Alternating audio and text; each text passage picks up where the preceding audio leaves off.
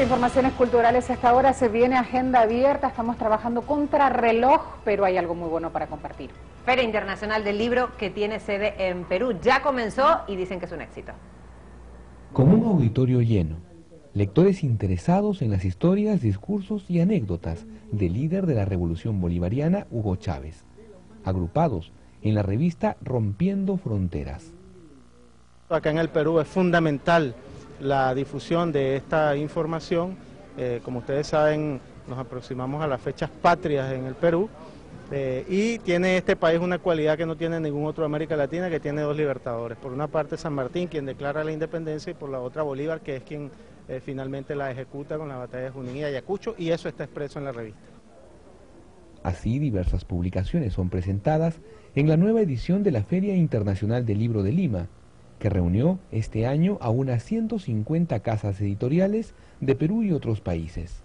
Cientos de lectores se vieron motivados por las obras alternativas que difícilmente se encuentran en cualquier librería.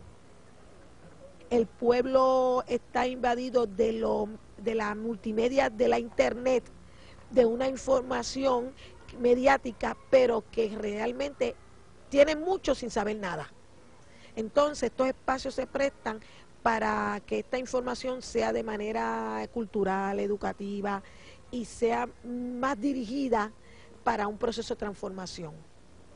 Durante 17 días los peruanos podrán adquirir libros, revistas y otras publicaciones, conocer a sus autores e interactuar con ellos.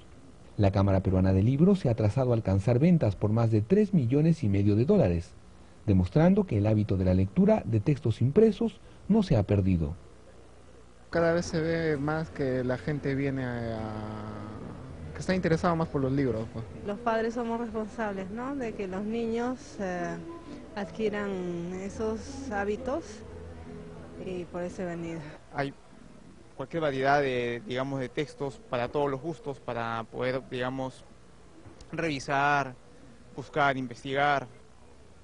La novedad de esta edición de la Feria del Libro de Lima es el espacio dedicado a quienes prefieren la lectura de libros digitales, poniendo a disposición textos de diferentes especialidades. Jaime Herrera, Telesur, Lima, Perú.